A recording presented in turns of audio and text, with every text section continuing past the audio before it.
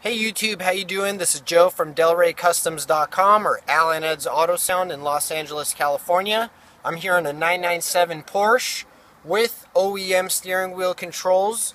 Kind of a rare option and upgrade at the time, but they definitely do exist. So what I have here is a Paser Unican. Comes out of Italy. Basically, this is the only adapter I have found that works with these factory steering wheel controls. So basically you want to get constant and ground at the main harness. You'll always find powers behind the radio. CAN high is green, CAN low is white. So green goes to the yellow blue on the factory little CAN plug. White goes to black blue on the little factory plug.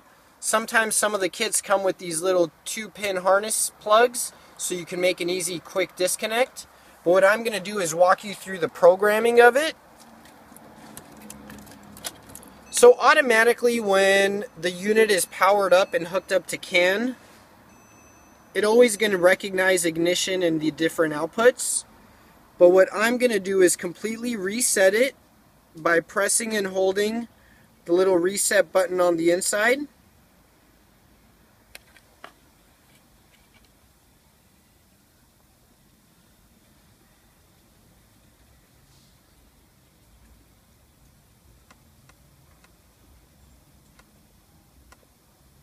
So as you can see, it's flashing green, which means it recognizes the car. This is a very simple process.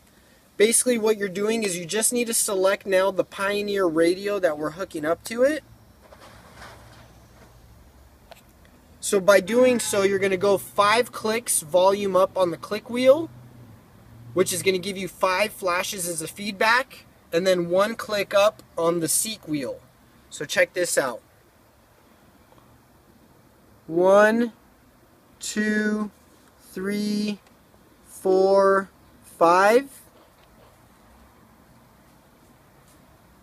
It's going to give me five flashes and then one up which will then give you a solid green. Once it is solid green, you know you have selected the Pioneer radio by giving it five clicks up on the volume and one click on the seek. Once it goes solid, you are then programmed.